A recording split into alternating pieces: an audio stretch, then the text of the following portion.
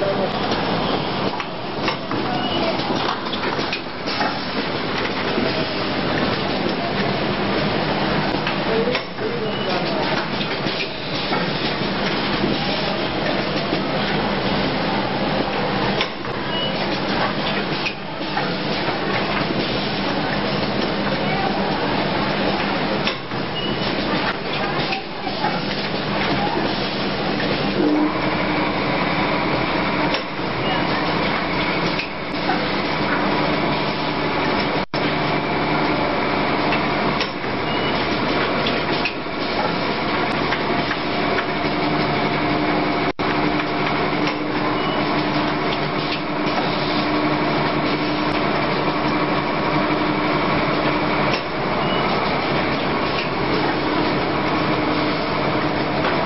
Huwag na sa siguro.